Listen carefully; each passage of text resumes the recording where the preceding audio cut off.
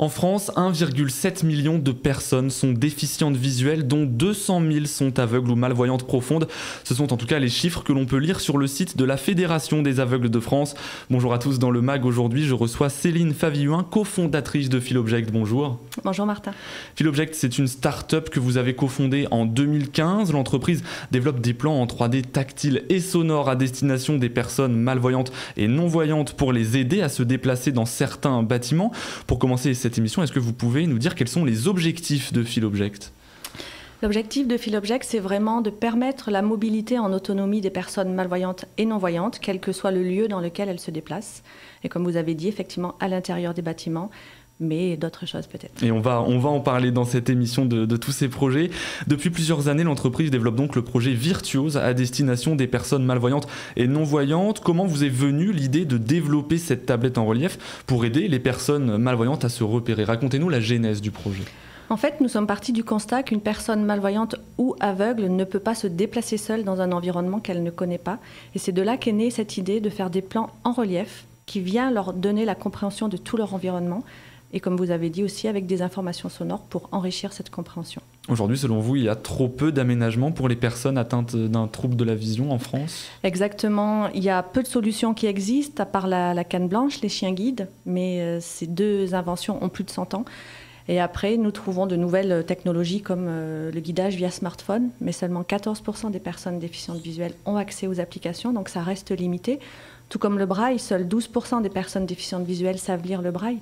Donc nous, l'idée, c'était vraiment de proposer une solution qui réponde au plus grand nombre. Et en plus, comme c'est une solution multilingue, on touche vraiment beaucoup plus de personnes. Et depuis le 29 avril, le Kind Arena de Rouen est équipé de ce plan en relief. Concrètement, en quoi consiste ce dispositif? En fait, virtuose, c'est vraiment euh, permettre à une personne, qu'elle soit malvoyante ou aveugle, de pouvoir avoir une compréhension de son environnement. Ça se découvre avec le sens du toucher. La personne avec les doigts, elle vient parcourir tout l'espace qui est en relief, qui est sur le plan. Cela, ça va lui permettre de pouvoir se représenter mentalement tout cet environnement-là. Et après, sur le plan, il y a des symboles. Et chaque fois que la personne appuie sur les symboles, ça va déclencher des informations sonores qui vont être là pour enrichir sa compréhension.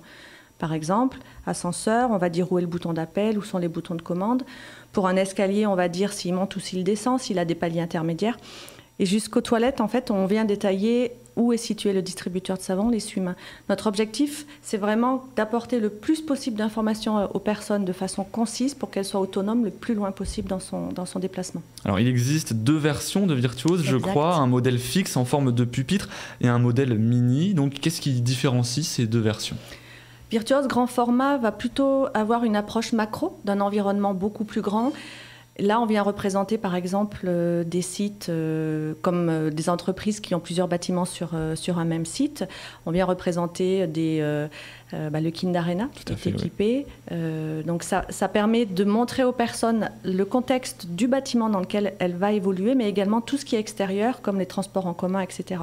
Et après, avec Virtuose Mini, on vient faire des zooms sur l'intérieur des espaces, où on vient rentrer plus dans le détail. Et la particularité en fait de Virtuose Mini, c'est que c'est composé d'un boîtier électronique sur lequel on vient positionner des plans que la personne enlève au guise de, de son déplacement dans, dans l'environnement. Alors, le Kind Arena de Rouen, c'est un palais des sports. Quel est l'enjeu d'installer ce type de dispositif dans un tel lieu? Est-ce que ça peut ouvrir la voie à l'équipement des lieux qui accueilleront euh, les Jeux Olympiques et Paralympiques 2024 Exactement, Martin. Je vais juste peut-être rajouter que nous, nos clients aujourd'hui, ça va être toutes les entreprises et les établissements qui reçoivent du public, qui mettent Virtuose à disposition de leurs utilisateurs déficients visuels. Et effectivement, on a un gros volet sur la partie sport. Et le Kind Arena est un premier pas pour nous parce que ça permet euh, aux spectateurs déficients visuels de venir assister à une rencontre notre objectif, en fait, c'est vraiment la mobilité des personnes déficientes visuelles dans un lieu et en fonction du lieu, de leur faire vivre une expérience extraordinaire. Et donc là, c'est de pouvoir bénéficier d'une ambiance euh, extraordinaire qui peut y avoir, comme il y a eu le 29 euh, avril avec la rencontre euh, de handball. À Rouen, depuis janvier, le musée des beaux-arts est également équipé du Virtuose Mini cette fois-ci. De manière générale, le projet se développe et s'implante partout en France, en Suisse et en Belgique. Comment sont fabriqués tous ces plans en relief? À la base, Philobject, on est spécialisé en impression 3D professionnelle et on a la particularité de travailler le composite. Donc nous, on faisait de la sous-traitance industrielle pour les secteurs aéronautiques et, automobiles. Et donc tous nos plans, en fait, sont personnalisés à chaque lieu. Et c'est vraiment l'impression 3D qui permet de répondre au mieux à ces demandes parce que là, le, Kind Arena, ils ont deux dispositifs. Le Musée des Beaux-Arts aussi, ils ont deux Virtuose Mini. Donc ça fait les plans en, deux exemplaires à chaque fois. Mais voilà, à chaque fois, le, plan est vraiment personnalisé au lieu. Donc c'est grâce à l'impression 3D professionnelle, je tiens à préciser, il y a une différence.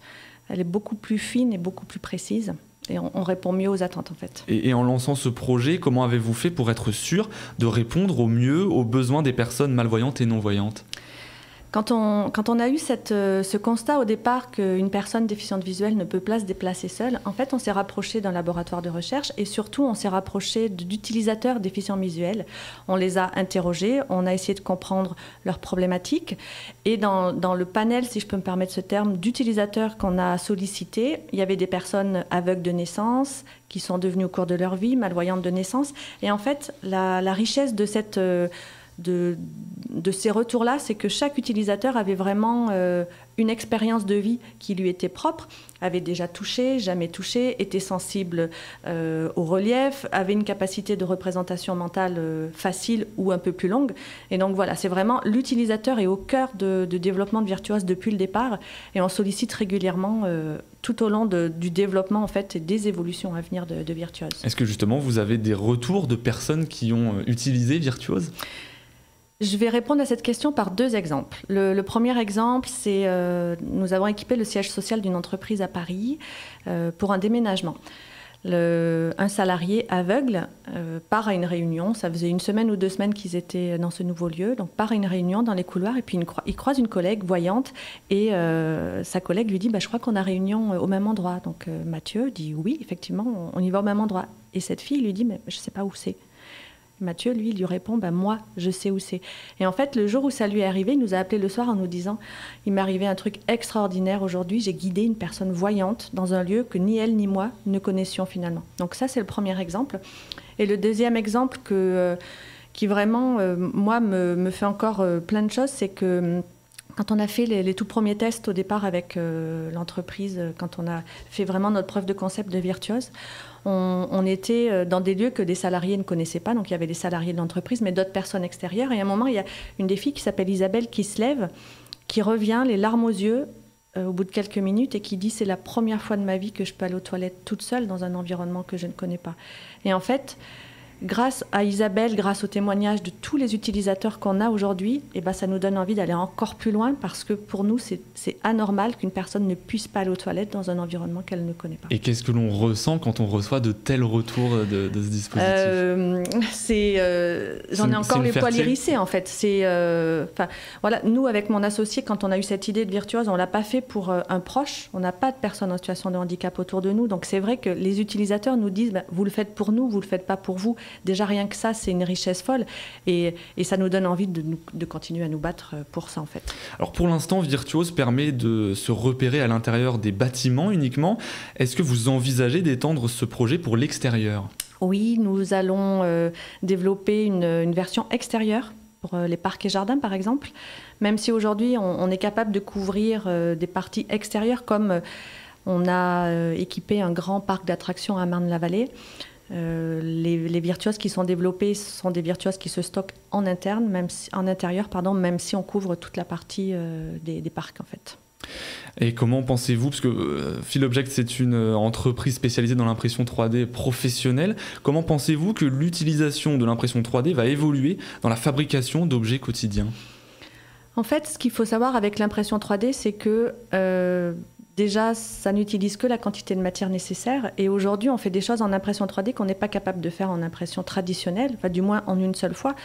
Donc le développement est complètement... Euh, en fait, ce qui nous limite par rapport à l'impression 3D, c'est nous, notre cerveau, parce que l'impression 3D n'a pas de limite. Et très très rapidement pour finir, quels sont les projets de Philobject, les prochains projets?